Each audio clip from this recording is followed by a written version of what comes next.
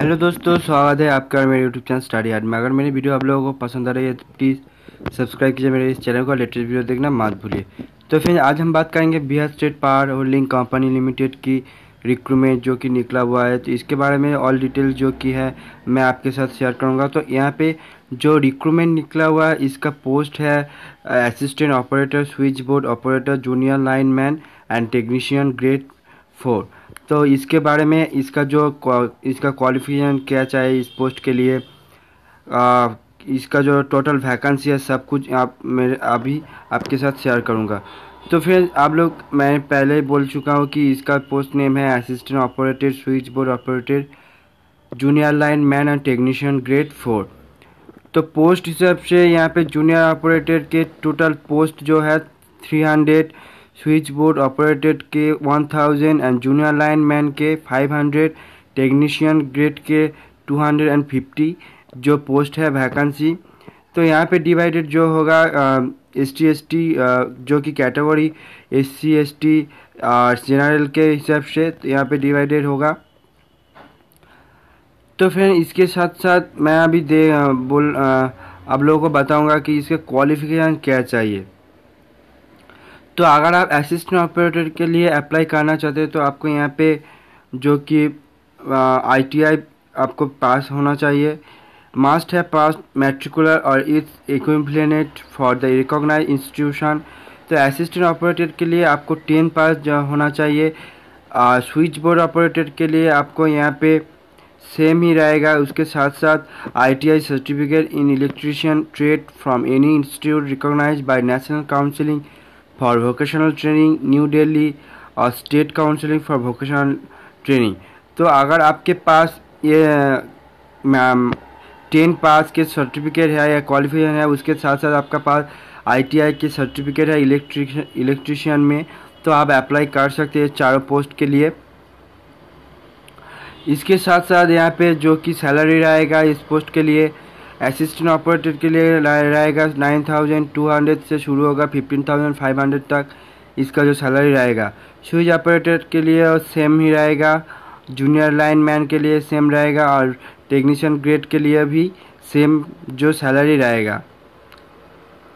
इसके बाद बात कर लेते हैं एज की। एज के लिए यहाँ पे 18 से आप अप्लाई कर सकते हैं फोर्टी ईयर्स तक अप्लाई कर सकते हैं यहाँ पे।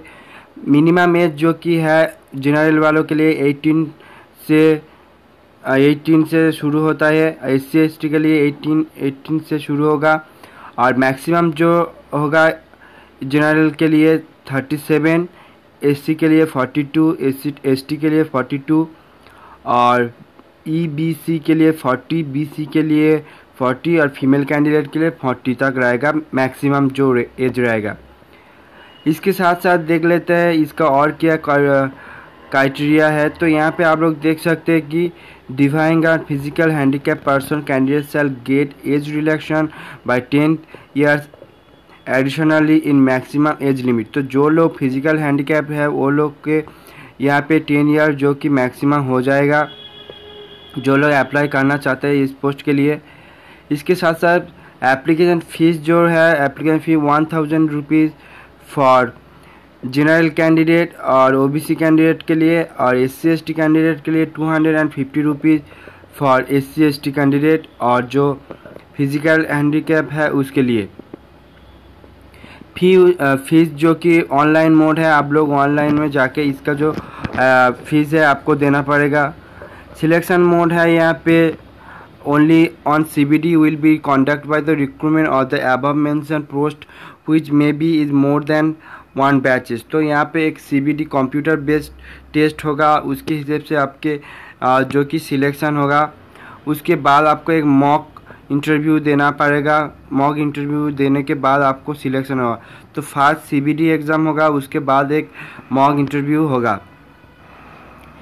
इसका जो इम्पोर्टेंट डेट्स है स्टार्टिंग जो ऑनलाइन में स्टार्टिंग डेट है एटीन सितंबर 2018 11 एम से शुरू हो गया है इसका जो लास्ट है 8 अक्टूबर 2018 सिक्स पी एम तक इसका जो एप्लीकेशन हो, होगा। लास्ट डेट के पेमेंट जो कि है 18 अक्टूबर टेन टू थाउज़ेंड एटीन तक। और इसका जो एग्ज़ाम होगा लास्ट वीक ऑफ़ अक्टूबर 2018 तो आप लोग एक बार देख सकते हैं कि यहाँ पे लास्ट वीक के अक्टूबर में यहाँ पे जो इसका जो फास्ट सी बी एग्ज़ाम होगा। इसके साथ साथ इसका जो लिंक है एप्लीकेशन के ऑनलाइन लिंक है, मैं नीचे दे दूँगा, आप लोग वहाँ से जाके रजिस्ट्रेशन कर सकते हैं ऑनलाइन में। अगर और कोई प्रॉब्लम होता है तो आप लोग मेरे को ईमेल करके या कमेंट करके पूछ सकते कि क्या आपको कन्फ्यूज़न हो, होता है। ऑनलाइन एप्लीकेशन करने के लिए आपको यहाँ पे क्या क्या चाहिए? आपको यहाँ पे रजिस्ट्रेशन के पर्सनल एजुकेशन आपको देना होगा एजुकेशन डिटेल्स देना होगा, उसके साथ साथ एक फ़ोटोग्राफ और सिग्नेचर देना होगा। आपका जो पेमेंट है वो क्लियर करना होगा। तो इस तरह से आपका फ़ोटोग्राफ सिग्नेचर या आपका एजुकेशन क्वालिफिकेशन दे के आप अप्लाई कर सकते हैं इस पोस्ट के लिए। तो फिर ये था जो कि Bihar state power holding company limited की तरफ़ से ऑनलाइन रिक्रूटमेंट। तो अगर ये वीडियो आप लोगों को पसंद आए तो प्लीज़ सब्सक्राइब कीजिए मेरे इस चैनल को। और ये वीडियो अगर पसंद आए तो लाइक, शेयर, सब्सक्राइब कीजिए मेरे इस चैनल को। और लेटेस्ट वीडियो देखना मत भूलिए। Thank you friend